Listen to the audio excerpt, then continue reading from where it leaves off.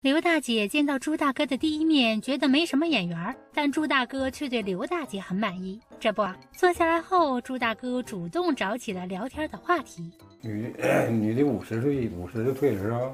我没有，我自己交，五十五退。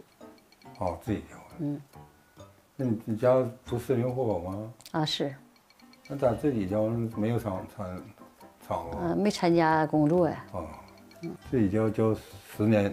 打底儿的吧，十五年，十五年打底儿啊。对，对，是自己要，嗯，开开的少，嗯，开去开八百一，现在九百三。我不介意，嗯，就挣五百我都不介意。大哥现在也退休，退休两年了哈。啊，退休两年了。现在能开多少钱？开将将近三千吧，两千九百左右。因为我生活还还还算，这两口人还算能承受。能承受。嗯。可以，就是我有我要是说，我你工资就搁这咱俩花，剩下咱俩攒的不够，我可以掏出来。别看我少。大哥喜欢跳跳广场舞啥的，嗯，喜欢活活动活动，那个活动的健康点儿。大姐也跳过广场舞啥的吗？嗯，跳。经过了简单的了解，能感觉到刘大姐还是有些心不在焉。这不一会儿啊，刘大姐主动叫出红娘，觉得还是结束这场相亲吧。其实没有眼缘，瞅着就不是我要找的那个类型的。大姐想找啥类型的？那咋最最起码的就是瞅着得顺眼的。你要具体让我说，我还说不出来。但是我就瞅他不是我要我想要的那个类型的，你就不用劝了，你劝也没余地。我不想跟他说沟通处处，或者是说加电话联系，没有用。我没有啥眼缘，我这人急性子，这是咱有啥就说啥，不隐瞒观点。嗯，当朋友处。从刘大姐家出来之后啊，朱大哥跟红娘说：“你看看这亲香的，总共都没说上几句话。刚结束下楼的时候啊，他还挺不甘心的，觉得遇到这么有眼缘的相亲对象不容易。但是呢，转念一想啊，就大姐这嘁哩咔嚓的性格和自己还真是不咋合适。大哥说自己是慢性子，再找伴儿啊，最好在性格上也能合拍，两个人才能过到一起去。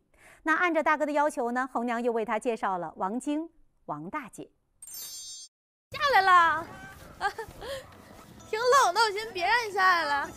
你要接我是原来不把红娘小钱，走吧，咱们。王晶，六十二岁，退休金两千二百元，婚姻状况丧偶，居住地四平市，住房情况与母亲同住。沙发把它改成床了啊啊！对，谁住这儿啊？这嘎就是我姐姐了。弟弟他们来看我妈了，要干啥去过年了，或者是人多了就搁这住了。王大姐现在和九十一岁的母亲住在一起，平时的时候都是以照顾母亲为主，因为母亲年纪大了，身边真是离不开人。现在就是平时就是姐你跟母亲在一起住，对对对啊，能帮着一起照顾照顾。对呀，一打我家那个人走了之后，我就跟我妈老妈搁一块住。我没啥爱好，就是也也不出去。跳舞啊，接触外界也挺少，因为啥？因为我老妈拴的我拴的挺紧，她吧几乎不怎么，就是你离开她超过一个小时，她就找你。嗯，这这岁数大就像小孩似的。一早起来，你就得先给她冲个鸡蛋水。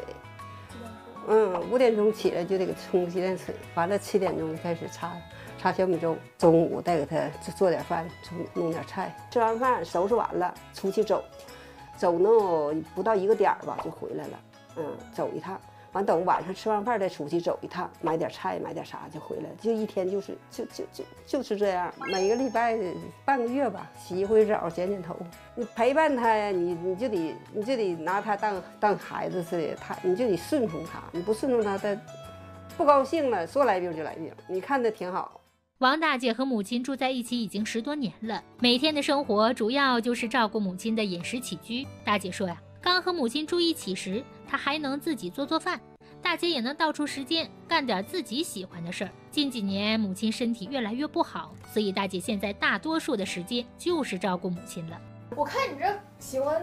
喜欢绣十字绣啊？哎，对，没别的，没别的爱好。这都是你绣的吗？嗯，对，都我绣。啊，我看这边还有，这俩也是。嗯，好几年没绣了都。以前八十多岁前，母亲换啥还能下地，呃，擦个粥的，有点饭，还还那前还行呢，绣点。嗯，就从哪就是最近三年这样不能下地了，就嗯，全都得那啥了。嗯，他们都有人都有家哈。就我，我把家房子卖了之后，跟女儿女儿结婚，我回来照顾老母亲。因为兄弟姐妹都有家庭，独身的王大姐承担起了照顾母亲的任务。她说：“如果老伴儿没有那么早的离开自己，也许现在就能多一个人陪伴母亲和大姐了。”他搁造纸厂电工，他那个工作清闲，基本就没，就是车间哪嘎不坏，就根本他就没有活，就待着，嗯，天天晚上喝点酒。后来厂子单位黄了，解体了，他一下岗，情绪就更不好了。他脾气不咋好，完了就喝，就开始就训，就是不吃饭不喝酒了，就那样。一五年的时候，他那前上工地上班去了，完了就搁办公地，他就说不行，脑袋疼，赶紧打车上医院吧，就在你上的脑科医院。到脑科医院就不行了。自打老爸二零一五年去世后，王大姐卖掉了房子和母亲生活。虽然有母亲陪伴的日子也算有个伴儿，但母亲却觉得自己年龄越来越大。如果真的离开后，一个人的王大姐该有多孤独啊！跟老妈搁一块儿啊，反正还觉得不是说是就是自己了哈，就感觉到挺那啥，还行。嗯，照老母亲，不就寻陪老母亲，就度过晚年就得了哈。她陪我，我陪他，这就是个伴儿嘛。完了就是这以后，老妈总看这个原来不晚。她说：“你看人家都。”找的真挺好的，你也找一个呗。我说我找你咋整啊？他说我没事，我这是九十一了，头年还住院，这太头几天还住院了。他说的我，那万一的百年走了，你剩你哥也多孤单。完我说，我我当时也没那啥，反正是后边我妈说了好几回，我就个儿下下下定决心就报个名。那要是说大姐再找一个另一半的话，就母亲这边怎么办？我这么寻思就是。暂时，那你不能不能看妥就就就就就过吧哈，咋的也得处了解了解，了解不多不多也得个半年呗，最最快也得半年。这半年期间我就能照顾我妈，过半年就像我姐们儿、我我姐姐、弟弟，大伙轮流呗。嗯，总可我哥哥也不行。想找一个啥样的？想找一个，嗯，第一点必须得人品好啊。再一个不抽烟不喝酒，不抽烟啊没啊没有不良嗜好不打麻将，嗯完其次就是年龄啊是个头啊，那都都是次要的我觉得，嗯嗯嗯，嗯嗯主要就是这一个喝酒，哎呀这不受不了，因为老伴儿的酗酒，现在王大姐就想找个不喝酒的老伴儿，那朱大哥会是她想找的人吗？广告之后相亲继续。来，来，来，嗯，简单介绍一下，这个是那个朱小海，朱大哥，嗯，完了，王晶，王大姐，嗯，好，你好。见第一面前咋样？跟感觉一般吧。瞅着瘦也个儿也小。两人的第一面虽然对彼此的眼缘都很一般，但是大哥大姐还是觉得眼缘只是一方面，还是得了解了解彼此的情况再做决定。你哪年生人呢？我五九年。啊，那咱俩，我也是五九年。你俩同岁，半对半，你俩是。嗯。现在我有个儿子，在北京。结没结婚呢？结婚了。啊。嗯。是三三三多岁我儿子。我是一个女儿，哦，嗯，也搁外地，那也得也也得三三三十岁了，嗯，四十毛岁四十了吧？嗯，我闺女孩子都要上中都中初三了，现在过年考高中。哦，嗯，对，那正常的嘛，都，嗯。他这个姐还行，这样还行。有孩子，他要是没结婚的，那负担重呗。喝不喝酒啊？不喝酒。酒就是十十来人了，说烟雾烟雾喝半瓶啤酒，就没有人情况下是一口不喝。大姐是不想找一个喝酒的，是不是？嗯。大姐是爱人，就是原来总是喝酒，是不是？我就这，我不会说我不喝，我天生就不能喝酒。嗯。我喝一一口酒脸通红，就充血的那意思。啊，就有的人就过敏那种。那就过敏。这还行，就我家那人喝酒啊，所以就有点。就像恐惧了似的，你知道不？你是怕他喝多？嗯，喝多，喝酒多少都是在喝酒上失失态，你知道吗？嗯。对于喝酒的问题上，王大姐很满意朱大哥的回答。紧接着，她也说出了她和母亲一起住，想看一看朱大哥介不介意。跟母亲搁一块儿，哦，嗯，母亲九十一了，哦，这就照顾母亲呗。嗯嗯，哦，要是就是说想找个另一半的话，母亲那边的话，大姐怎么？就我姐跟我弟弟，他们俩那啥，就轮班呗，轮嗯嗯，班一轮班照治，嗯嗯。那照妈都挺正常的。瞅那样还瞅那样性格还行，嗯，反正挺老实的，嗯不吱声那种的。就是处的话，你咱也不能说马上就就就就成家这个那的，不得了解这段儿。那就真正成家了，那是另一码事儿了，是不是？那如果说大姐在，比如说你俩成完家以后，她要是比如说过段时间回去照顾母亲一段时间，这个能不能接受？那也可以，适当的。你要说真，那始始终在在在妈家，那不就失去意义了吗？是不是？啊，就是嗯，适适当的。适当像像像，先看看看妈妈待个三天五天，那也挺正常的。你看看啊，虽然开始的时候眼缘儿不太过关，但通过了解，明显两个人都拉近了不少的距离。可就在这时，王大姐发现了一样东西，就是因为它让王大姐一改常态。那究竟是什么呢？广告之后，相亲继续。我是红娘甜甜，但是在原来不晚，大家都叫我喜神，知道为什么吗？我们结婚了。原来不晚第一对儿结婚登记的嘉宾就是我给撮合成的。从那以后，这牵手的嘉宾是越来越多，我们作为红娘的幸福感也越来越强。介绍对象不怕难，调解困难不怕烦，用最真的心为您寻找最幸福的陪伴。想脱单，赶紧来找我喜神甜甜吧。朱大哥和王大姐见面后，通过了解，朱大哥对于王大姐的性格很满意，王大姐对于不喝酒的朱大哥也很过关。正当两人聊得正好的时候，王大姐发现了放在角落里的音响。耶，你这是音响，啊音响，拿拿广场跳舞的啊，有时候拿，啊？你就是喜欢的跳广场舞啥的，嗯喜欢唱歌跳舞啊？嗯，这不消磨时间呗啊？。啊，唱歌咋样啊？唱歌也是就一般一般化，跳点舞啥的，大姐介不介意？跳广场舞还可以吧？嗯，跳广场舞还行，都锻炼身体嘛。要是跳交谊舞啥不怎么喜欢，挺挺挺反感，挺反感。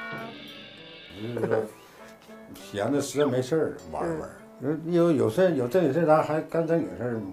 就就是说业余时间得得会那个啥，让你成天搁这楼上一待，不待傻了吗？是那个意思。对爱好，他跳舞我不怎么喜欢。嗯嗯嗯，咋的？跳交谊舞那个人，我觉得好像是不是那么太那啥。